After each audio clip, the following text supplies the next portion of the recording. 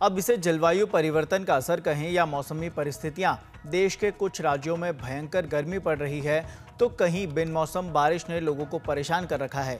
इसके पीछे वजह क्या है? मौसम वैज्ञानिकों से सुनिए। जी, ये जो प्री मानसून सीज़न है प्री मानसून सीज़न में पहला तो ज़्यादा गर्मी होता है बहुत सारे इलाके में, स्पेशली प्लेन्स में, नॉर्दर्न प्लेन्स हो कि सेंट्रल इंडिया हो कि पेनिसुलर इंडिया हो। इसके साथ साथ ये गर्मी की वजह से कुछ इलाके में थंडरस्टॉर्म होता है। थंडरस्टॉर्म जो होता है, इसमें स्ट्रांग विंड होता है, बारिश भी होता है लाइटनिंग होता है कभी कभी स्क्वाल हो जाता है और हेलस्टर्म भी हो जाता है। ऐसे ही काल रिकॉर्ड किया गया नॉर्थ बंगाल पे और आसाम में भी रिकॉर्ड किया। और इसका हम पूर्वानुमान दिए हैं और पूर्वानुमान जारी है अभी भी। और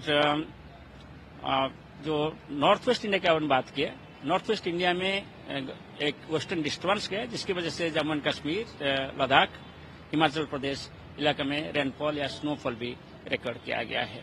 हम ये सभी को continuously round the clock monitoring करते हैं और इसका फोरकास्ट देते रहते हैं।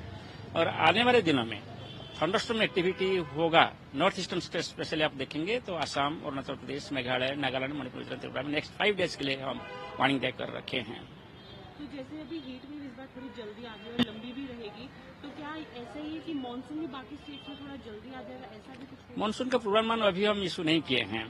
हमारा फ़र्स्ट टेस्ट पूर्वानुमान मिडिल ऑफ़ द अप्रैल में आएगा। इसके बाद फिर, हम आपको बताएँगे कि कहाँ कैसे स्थिति रहेगा।